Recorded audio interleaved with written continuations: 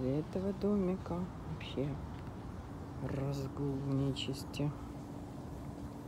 Видите, что творится? Там он такой большой. Дальше еще он там какая-то черная кошка вылазит из домика. Здесь вот еще белое привидение.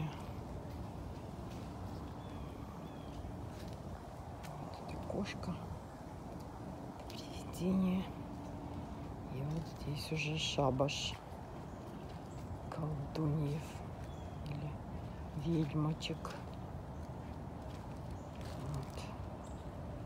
Весь забор усыпан черепами, ногами, руками. И вход. Вот это да, целая постановка, декорация целого спектакля.